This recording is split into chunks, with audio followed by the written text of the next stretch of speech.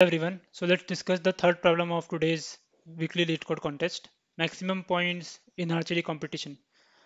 So there are two players, Alice and Bob, in the archery competition, and uh, they have to shoot this many number of arrows.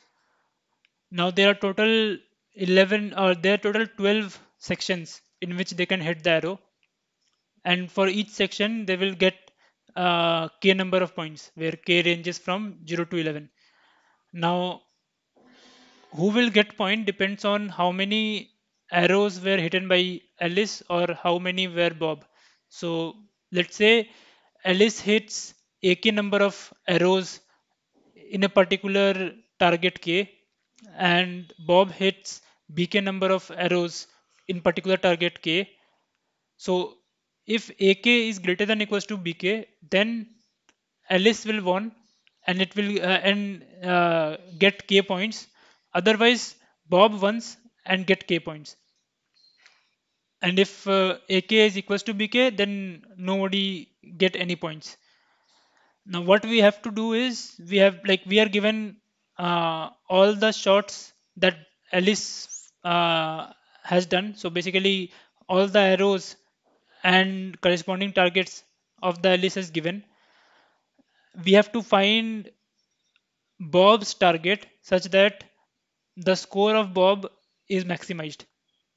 So for example, uh, this let's say this is the uh, sorting section like 0 to 11 there are 12 targets and there are 9 arrows now alice hits 0 1 uh, 3 and then two arrows in sixth target, one arrow in seventh target, nine and one arrow in ninth and two arrow in tenth target. Now, let's say Bob hits this the in this fashion. So in this uh, in this case, here Alice will won, here Alice will won, uh, here also Alice will won, but here Bob will won and get four points because number of targets hit by Alice is 0 and number of targets hit by Bob is 1. Similarly, here also Bob will 1. Here also Bob will 1. And here also Bob will 1 because number of targets hit by Alice is 1. But number of targets hit by Bob is 2. So that's why uh, Bob will get 9 points. And uh, here also Bob will 1 because target hit by Bob is greater than target hit by Alice. So total 10 points. Here also Bob will 1 because target hit by Alice is 0. So the total like this is the optimal score that Bob can score uh, given Alice has uh, fired this many cells. Now how to solve this? So let's try to think of a brute force approach. So we will try to like we will try Bob to hit every target like so let's say uh, we take one position at the time. So we when we take first 11 then either bob will win here or bob will lose here right? So if bob will if bob has to win he has to uh, throw more arrows than alice at this place right? So currently uh, Alice throws zero arrow, so he can throw one, two, three, four, any number of arrows here. Now after throwing this arrow, uh, we will go to the next target. Again, either Alice will win or Bob will win in this target. Now, depending on, we will try both the cases. Depending on who will win, we will uh, take the decision. So basically, what we are trying to do, just like yesterday, we are trying to minimize our sample space. So previously we have total 11 targets and total 9 uh, arrows to shot. After we have said like we have said that okay we have fired X arrows in this place. Now after firing X arrows we have one like only 11 targets with 9 minus X number of arrows right so basically we have we are trying to solve the same problem with reduced constants. The number of arrows reduced by x and the number of target is reduced by 1. So hope you can see recursion here. So let's try to form like formally uh, write down the recursion. So let's say there's a function f uh, which takes in a target and which takes in the number of arrows that is left. Okay. Uh, now what can happen here uh, at this target?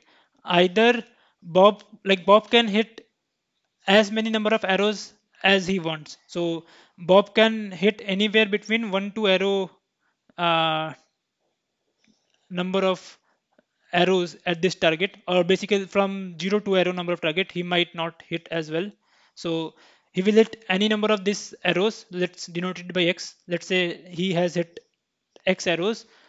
Now for each of these case we will just try to find uh, uh, the answer for uh, target minus 1 and uh, arrow minus x. So basically number of arrows left is arrow minus x because we have like uh, Bob has fired x arrows at this target.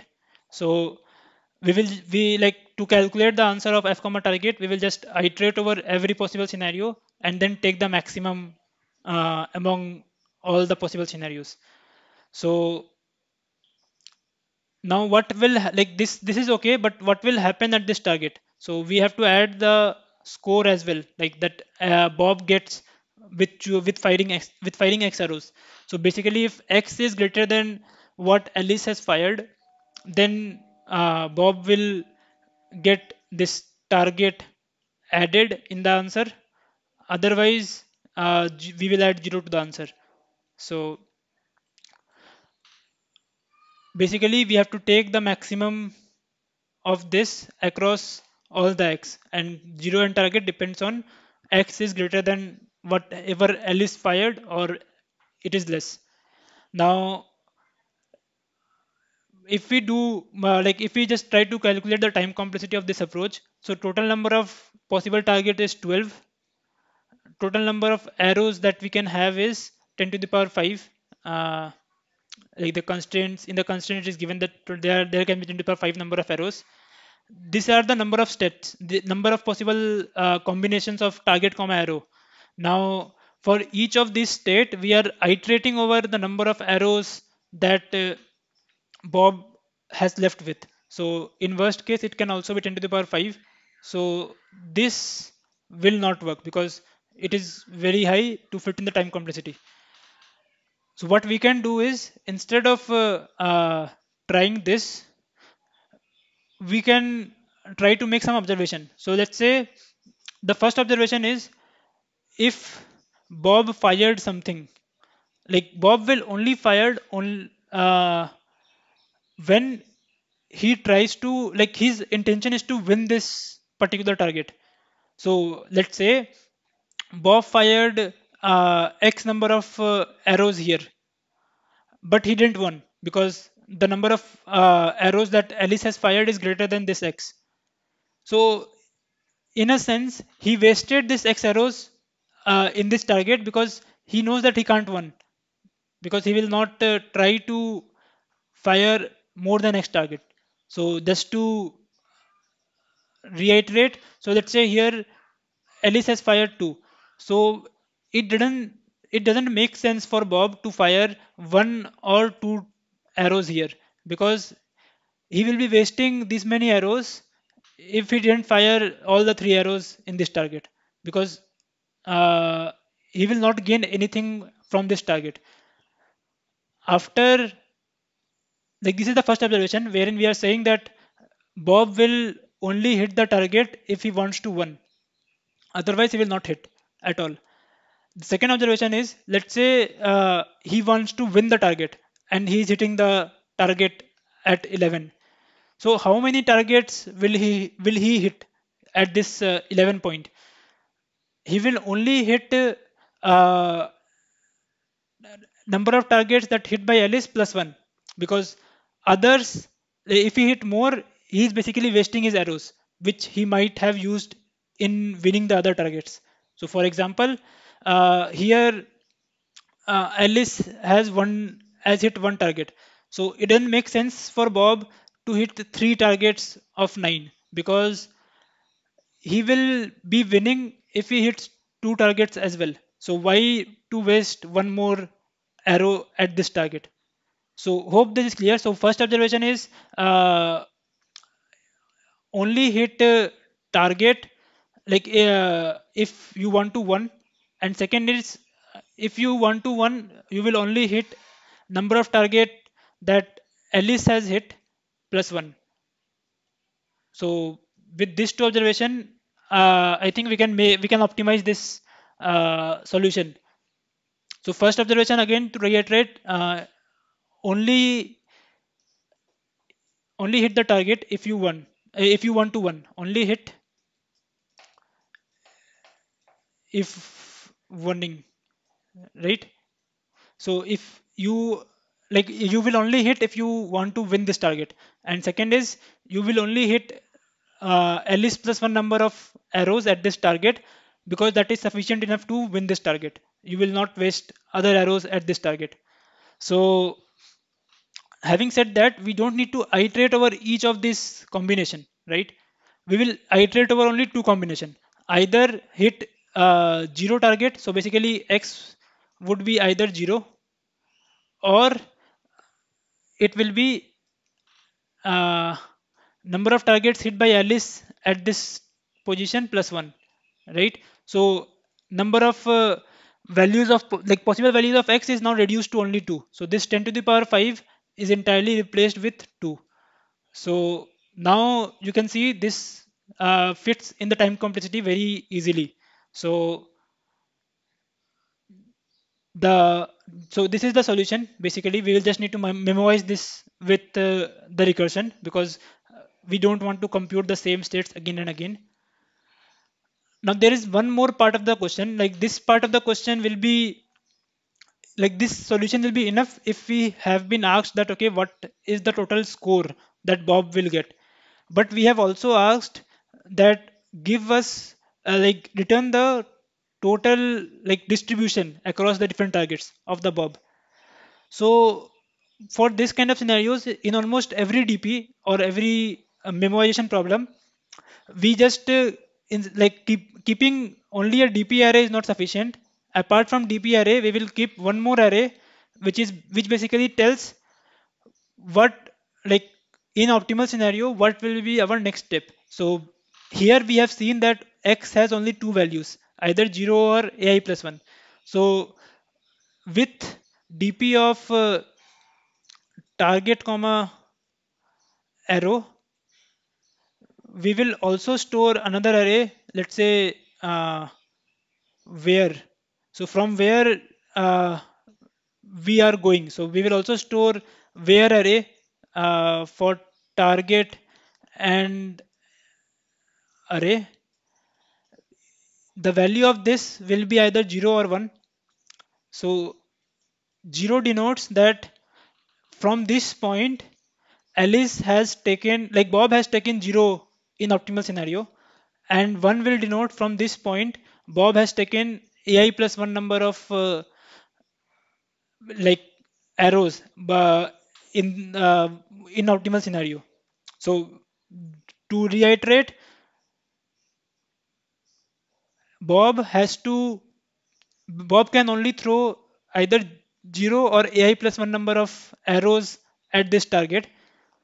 So where of target comma array denotes whether Bob has hit 0 target uh, 0 arrows at this target or he has hit AI plus 1 number of arrows at this target in optimal scenario. Like what is the maximum among f of target minus 1 comma arrow minus 0 or f of target minus 1 comma arrow minus AI minus 1. So whatever is the maximum based on this, we'll, we'll populate this where array and then we will uh, reverse back to calculate the original answer. So let's look at the uh, solution as well.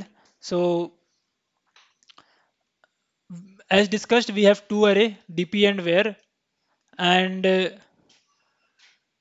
we have taken arrows left and maximum position this is nothing but the target in our uh, solution uh, what, whatever we have discussed previously so if number of arrows that is left with bob is zero or max position is less than equals to 0, then we will just return 0 because we can't score anything after this. Uh, and then we are basically saying what is the answer. Uh, if we have already calculated the answer, we will just return it. Otherwise, we will calculate it. So we will not throw anything. If we don't throw anything, number of arrows will not be decreased and number of targets, we will move forward one target. But if we throw uh, some arrows, then we are sure that we will throw only uh, these many number of arrows, right? So we are checking if we have if we have this many number of arrows or not. If we have this many number of arrows, we are sure that we will get this max like this target. We will acquire the target because we have hit. We are going to hit more number of arrows than Alice. So we will get max position number of points, and we will be left with these many arrows and one less target to capture. So this is the total number of points if Bob decides to hit the target. Now, if this point is greater than whatever Bob has got without hitting the target, then we will update the answer and we will, as discussed, we will update the where array as well. So initially where array was 0, which means that Bob doesn't hit anything. Here the where, where array is 1 and we are saying that okay, Bob will hit the target. Uh, so hope this is clear. Uh, now how to like after uh, making this call, we need to find out the exact number of targets that Bob decides to hit in each positions, right? So for that, we we will just uh, reverse like reverse map the array. So basically, we have arrows left. Initially, we have total this many number of arrows, and initially we are hitting this 11th target, starting from 11th target. Now, from this, where will uh, where will determine like this where array will give us whether we like Bob decides to hit the target or not hit the target. So if it is one, it means Bob decides to hit the target. So how many arrows Bob will have fired? It is just uh, uh, number of Alice arrows plus one. And if uh, Bob doesn't decide uh, to hit the target, basically uh, at this place the number of Bob arrows will be zero. So we will not update the answer. And now number of arrows that are left with us is uh, arrows left minus number of arrows that Bob fired and we are left with one less target to capture. After this loop is ended, we will uh, we will leave with uh, score equal to zero. So basically, these target, and if we are left with uh, some more arrows, then Bob will fire at this target because Bob is sure that he can't uh, acquire like he can't make more points than whatever he have make whatever he had made. So it doesn't matter to hit wherever like wherever let's say after making this uh, all arrows, Bob is left with two arrows and he is sure that he can't fire these two arrows to win any of the targets. So it doesn't matter where he hits this two arrow. So what I am doing is I am just uh, firing these two arrows at zero, zeroth target. So hope uh, this is clear. If you have any doubts, please comment in the comment section below. I will try to answer them. Thank you.